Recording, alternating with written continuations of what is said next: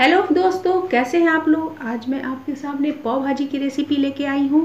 पाव भाजी हम सबको पसंद होती है, ये हम सब जानते हैं, और पाव भाजी हम चटकारे ले ले खाते हैं। लेकिन मार्केट जैसा स्वाद हमें घर पर तो नहीं मिल पाता है, और ना ही उसका कलर मिल पाता है तो इसीलिए मैं रेसिपी आपके लिए लेके आई हूँ कि आपको एकदम मार्केट स्टाइल भी मैं बताने जा रही हूँ कि आप पाव भाजी कैसे बना सकते हैं और इसे घर पर मार्केट जैसा खा सकते हैं। तो चलिए मैं वीडियो को स्टार्ट करती हूँ। मैंने यहाँ कुछ अपनी वेजेस ली हैं जो मैं आपको दिखाती हूँ। तो यहाँ मैंने चार से पाँच कैरेट्स लिए हैं, दो से तीन बड़े साइज़ के आलू, दो साइज़ मैंने बीट रूट का लिया है और एक बड़ी साइज़ की मैंने गोभी ली है जिसे मैंने टुकड़ों में कट कर लिया था। दो साइज़ मैंने टमाटर लिया है बड़े साइज़ का जिन्हें मैंने काट लिया था। तो यहाँ मैंने सारी सब्जियों को मुझे बॉईल करना है तो मैंने एक प्रेशर कुकर लिया है जिसमें मैं सारी सब्जियों को इसमें डालूँगी और बॉईल करूँगी तीन वेसल आने तक और वन टीस्पून मैं इसमें नमक ऐड करूँगी। एक गिलास मैं इसमें पानी ऐड करूँगी। अब मैं इसे तीन वेसल आने तक कुक करूँगी। यहाँ मैंने कढ़ाई चढ़ाई है मैंने यहाँ two tablespoon oil add किया है। और मैं इसमें one tablespoon butter add करूँगी। अगर मैं डायरेक्ट बटर इसमें डालूँगी तो बटर जल जाएगा, इसलिए मैं इसमें, मैंने इसमें तेल डाला है। रिफाइंड ऑयल आप मस्टर्ड ऑयल नहीं डालना रिफाइंड ही ऑयल डालना। तो बटर हमारे मेल्ट हो चुके हैं, अब मैं इसमें वन टीस्पून ज़ीरा डालूँगी और वन पिंच मैं इसमें हींग ऐड करूँ तो यहाँ मैंने चार से पाँच प्याज लिया है, जिसे मैंने फाइन चॉप कर लिया है। एक शिमला मिर्च ली है मैंने, जिसे, इसे मैंने फाइन चॉप कर लिया है। और छः से सात मैंने हरी मिर्च ली है, जिसे मैंने काट लिया है। अब मैं अपने प्याज को बटर में ऐड करूँगी। मैं इसे हल्का ट्रांसलूसेंट बन करूँगी प्याज को। सिर्फ़ प्याज सॉफ्ट हो जाए हमारे, ज़्यादा इसे हमें नहीं पकाना है। अब देखिए, प्याज हमारे यहाँ सॉफ्ट हो चुके हैं। अब मैं इसमें शिमला मिर्च ऐड करूँगी। और हरी मिर्च भी मैं इसमें डाल दूँगी साथ ही में। और इसे हम अच्छे से मिक्स करेंगे। थोड़ा देर चलाने के बाद वन टेबल स्पून के करीब मैं इसमें लहसुन अदरक का पेस्ट ऐड करूँगी। मिक्स करेंगे।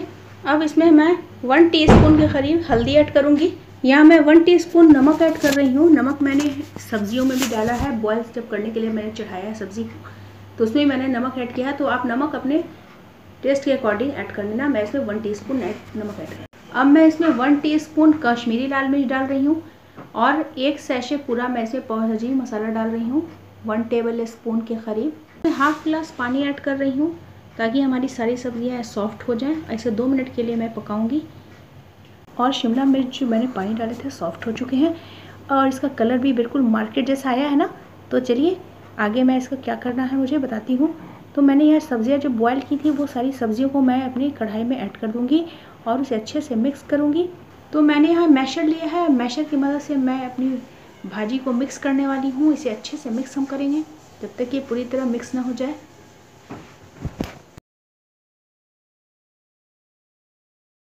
तो हमारी भाजी अच्छे से मैश हो चुकी है। अब मुझे इसकी कंसिस्टेंसी को बैलेंस करना है। पानी मुझे कम लग रहा है तो मैं इसमें एक गिलास के करीब इसमें पानी ऐड करूँगी।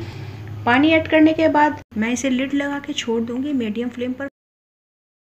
तो हमारी भाजी में अच्छे से उबाल आ चुका है। अब मैं कसूरी मेथी लूँगी और इसको थोड़ा क्रश करके इसमें ऐड करूँगी। धनिया पत्ती भी मैं इसमें डालूँगी। तो भाजी बन की मेरी रेडी हो चुकी है। अब मैं अपना पाव भी रेडी कर लेती हूँ। तो आइए दिखाते हैं मैं पाव कैसे तैयार कर रही हूँ। तो यहाँ मैंने एक पैन चढ़ाया पैन चढ़ाने के बाद मैंने इसमें बटर डाला है, लगभग वन टी स्पून के करीब। उसके बाद मैं इसमें भाजी ऐड करने वाली हूँ। भाजी ऐड करने के बाद मुझे पाव डालना है। अब मुझे पाव को अच्छे से सेकना है ताकि ये अच्छे सॉफ्ट हो जाए। तो मैं अच्छे से पाव को उलट पुलट करके सेक लूँगी सॉफ्ट होने तक। है ना कितनी मज़ेदार। देखिए मैंने पाव भाजी रेडी कर ली है। तो कितनी टेस्टी लग रही है। है ना बिल्कुल मार्केट जैसी। तो जितना ही देखने में अच्छी लग रही है, उतना ही खाने में बहुत टेस्टी है फ्रेंड तो इसे आप ज़रूर एक बार ट्राई करना, मुझे बताना कि आपको कैसी लगी। तो चलती हूँ मैं, आगे में और भी वीडियो आपको दूँगी तो बाय बाय अल्लाह हाफिज़।